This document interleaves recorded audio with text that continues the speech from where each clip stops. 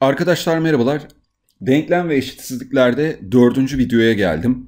Burada grafiklerden bahsedeceğim size. Gerçekten önemli bir kısımdır. Püf noktalarına dikkat ederseniz aşırı derecede sıkıntı yaşayacağınızı zannetmiyorum. Şimdi ilk sorumuz böyle bir soru arkadaşlar. Direkt soruyla dalacağım çünkü eşitsizlik tablolarını bir nevi grafiklerden yararlanarak yapacağız. Burada hemen şunu söyleyeceğim size.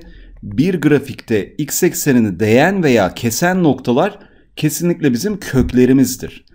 Dolayısıyla eksi 5, 3 ve 7'nin kökler olduğunu önce bir göreceğiz. Ve değen köklerin x eksenini kesen değil de değen köklerin çift katlı kök olduğuna dikkat edin. Gerçekten de burada işaret artı iken değişmemiş bakın yine artı olmuş gördünüz mü? Ama burada mesela 3'ün üstünde işaret artı iken bir anda eksiye geçiyor. Hakikaten tek katlı kök. Yine 7 de eksiden artıya geçiyor. Böylece bakın yaptığımız şeyleri grafik yoluyla da anlayabiliyorsunuz. Bunun tablosunu yapayım arkadaşlar. Köklerimiz eksi 5, 3, 7. Eksi 5 çift katlı kök arkadaşlar. İşareti nasıl anlayacağız? Çok basit söyleyeyim. En son köke bakın. Ondan sonra grafik gördüğünüz gibi böyle yukarı doğru gidiyorsa x ekseninin üstündeyse artıdır. X ekseninin altında devam ediyorsa eksidir. Dolayısıyla bu artı sonra eksi, sonra artı, sonra yine artı çift katlı kök olduğu için. O zaman bu nerelerde sıfır veya e, sıfırdan küçük oldu? 3 kapalı, 7 kapalı, birleşim, eksi 5. Bu arada şunu söyleyeyim. Bunlar ya paydayı hocam sıfır yapıyorsa falan diye düşünmeyin. Bir grafikte arkadaşlar paydayı sıfır yapan değer zaten böyle olmaz merak etmeyin. Asimtottur o. Onu da türevde eskiden yapıyorduk ama ee, kaldırıldı müfredattan. Şöyle göstereyim. Paydanın sıfır yaptığını şöyle anlarsınız. 3'e böyle bir şey koyar. Grafik böyle devam eder falan. Haliyle buranın paydayı sıfır yaptığını anlarız. Asla 3'e gelmemesi lazım diye. O yüzden merak etmeyin. Bunlar direkt polinomun kökleridir. Veya parabol eğer şöyle olursa. Bunlar direkt polinom cinsinden fonksiyonların kökleridir. O yüzden rahat edin merak etmeyin. Geldik şimdi buraya. x çarpı fx diyor yalnız dikkat edin. Grafik fx'in grafiği arkadaşlar. x'te bir denklem. Sonuç itibariyle bunun kökü ne? x'in kökü 0. Biz burada şunu düşüneceğiz. Grafiğin kökleri neler? Eksi 4, eksi 1 ve 5 x eksenini kestiği için. Aslında bir nevi nasıl bir grafik biliyor musunuz bu denklem? Sanki bunun gibi düşünün. Bir de yanına ben ne eklemişim? Çarpı x. Bunu bize ne güzel grafikten anlatıyor. Denkleme bakmaya gerek kalmıyor arkadaşlar. Dolayısıyla yapalım bakın. Köklerimiz eksi 4 en küçük kökümüz. Sonra eksi 1 sonra 0 x'ten geliyor. Sonra arkadaşlar kaç? 5 değil mi? Toplam 4 tane kökümüz var. Böylece 5'ten itibaren artı x'in işareti zaten artı artı eksi artı eksi artı oldu. Böylece arkadaşlar küçük eşit 0 demiş. Eksi 4 kapalı eksi 1 kapalı birleşim 0 kapalı 5 kapalı. 0'dan 5'e ikisi de dahil 6 sayı var. Eksi 4'ten eksi 1'e ikisi de dahil 4 sayı var. Toplam arkadaşlar 10 tane sayı var. Evet bakalım şimdi x eksi 2 çarpı fx küçüktür 0 demiş. Şöyle tabi soruyu görmeniz için getireyim. Burada da arkadaşlar x eksi 2'nin kökü nedir? 2. fx'in kökü nedir? Sadece eksi 3. Neden? Çünkü x eksenini bir noktada kesiyor. O zaman 1 kök eksi 3, 1 kök 2. Eksi 3'ten itibaren yukarı doğru gidiyor. Artı, x eksi 2'nin işareti artı. Artıyla başlıyoruz. Eksi, artı. Böylece küçüktür 0 olduğu yer eksi 3 açık 2 açık. Bu kadar kolay soru.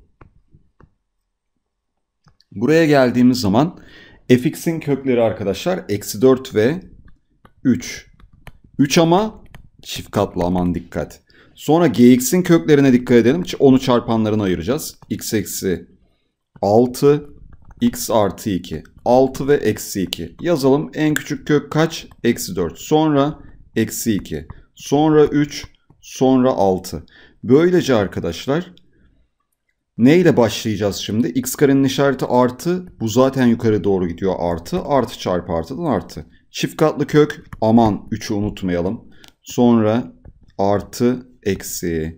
Böylece küçüktür 0 olan yer eksi sonsuz eksi 4, birleşim, eksi 2, 3 açık aralığı. Hayır pardon, eksi 2, 6 açık aralığı. Neyi çıkaracağız buradan? 3'ü. 3'ü niye çıkarıyorum? 3 çünkü denklemi 0 yaptığı için 0 eşittir 0 değil. Bu 0 küçüktür 0 saçmalı olur. Çünkü eşitlik yok bakın o yüzden 3'ü çıkarmalıyız. Dolayısıyla sağlayan doğal sayılar 0, 1, 2, 3 yok. 4, 5. Bunların toplamını soruyor bize. Evet geldik buraya. Fx bölü 4 eksi x kare küçük eşit 0 demiş. Payın kökleri eksi 4, eksi 2, 3, 6. Paydanın köklerine aman şimdi dikkat. Buradan bir kök 2 geldi. Bir kök eksi 2 geldi. Eksi 2'den kaç tane oldu? 2 tane. O zaman artık eksi 2 çift katlı kök bakın. Ona da dikkat edin. Kök sayısıyla ilişkili artık. Çift katlı ve tek katlı olması. Böylece arkadaşlar yazalım şimdi kökleri. En küçük kök eksi 4. Sonra eksi 2 ama çift katlı ona dikkat edelim. Sonra arkadaşlar e, diğer kök ne geliyor? 2, sonra 3, sonra 6 geldi. Şimdi neyle başlayacağız? Altının işareti eksi. Çünkü aşağı gidiyor. Eksi x kare yine eksi. Eksi bölü eksiden artı. Sonra eksi, sonra artı, sonra eksi, sonra eksi, sonra artı. Böylece küçük eşit sıfır olan yerleri demiş. Eksi 4 kapalı. 2 açık paydayı sıfır yapıyor. Hatta oradan eksi 2'yi de çıkaracağız. Paydayı yine sıfır yapıyor.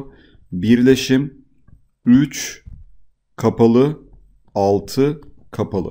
Sağlayan tam sayı değerlerimiz eksi 4, eksi 3, eksi 2, eksi 1, 0, 1, 2 yok. Eksi 2 de yok. Hemen silelim. Sonra 3, 4, 5, 6 arkadaşlar. Bu şekilde bunların toplamı artık siz toplarsınız. x eksenine eksi 2 0, eksi 1 0, 2 0 noktalarında y eksenini 0, eksi 4 noktasında kesen y eşittir fx fonksiyonunun grafiği verilmiştir demiş. Map sorusu böyle uzunca anlatmış. Fx büyük eşit 0, x çarpı fx küçük 0, fx bölü eksi x artı 2 küçük eşit 0 eşitliklerin çözüm kümesini bulunuz demiş. Biz hangisini yapalım? Bence bir tanesini seçip yapalım arkadaşlar. C şıkkını. Olur mu? Bakın şimdi. Bir kökümüz eksi 2. Diğer kökümüz eksi 1. Üçüncü kökümüz 2. Sakın eksi 4'e kök demeyin. Bazen öyle hata yapanlar oluyor. X eksenini kesen noktalar köktür arkadaşlar. Y eksenini kesen noktalar x'e 0 verdiğimiz yerler. Öyle bir yanlış anlaşılma olmasın. Direkt x eşittir, pardon x eşittir diyorum. X eksenini kesen veya değen yerler kökler. Y ekseni aldatmaca. O normal fonksiyonun bir değeri en nihayetinde. E, fx'in kökleri bunlar. Aşağıda eksi x artı 2'nin köküne 2. O zaman 2, 2 tane oldu. Yani çift katlı kök oldu. Hemen yapalım. Eksi 2, eksi 1, 2. 2 çift katlı kök aynı zamanda paydayı sıfır yapıyor arkadaşlar. Neyle başlayacağız? fx bakın yukarı gidiyor artı eksi x olduğu için artı bölü x'ten eksi. Sonra yine eksi artı eksi. Böylece küçük eşit sıfır olduğu arkadaşlar eksi sonsuz. Eksi 2 paydayı sıfır yapmıyor problem yok. Kapatıyorum. Birleşim eksi 1 açık sonsuz çıkar 2. Neden? 2 paydayı sıfır yapıyor. Gördüğünüz gibi bu şekilde arkadaşlar sorunun çözümünü oluşturmuş olduk.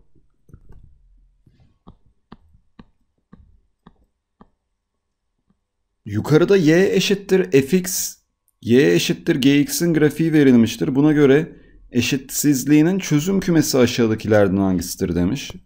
Tamam köklerimiz gx'in kökleri neler arkadaşlar? 0 ve 2. fx'in kökleri neler? Eksi 1 ve 3. Tabloya yerleştiriyorum şimdi. Eksi 1 0, 2, 3. Bakın gx arkadaşlar 2'den itibaren artı sonra fx de zaten 3'ten sonra eksi. O zaman artı bölü eksiden şey artı çarpı eksiden eksi. Artı eksi artı eksi çünkü hiç çift katlı kök yok. Büyüktür 0 olduğu yer eksi 1 0 birleşim 2 3. C şıkkı oldu arkadaşlar burada cevap.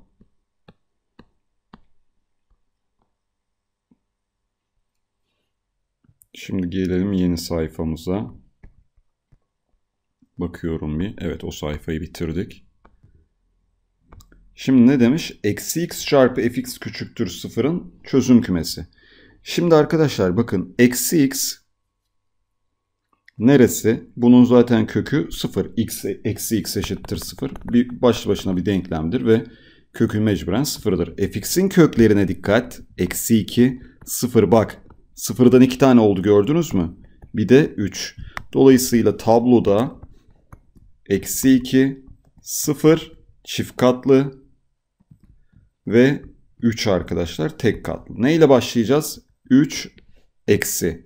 Bu yine eksi. O zaman eksi çarpı eksiden artı. Eksi. işaret değiştirme yine eksi. Sonra artı oldu.